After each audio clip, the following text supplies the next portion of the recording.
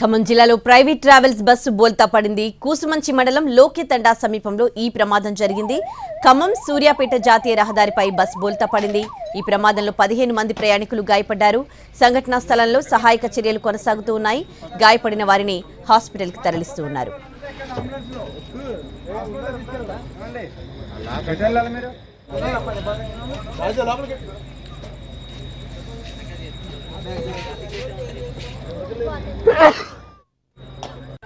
చూడండి ఒకసారి చూడండి బస్సులో బ్రదరు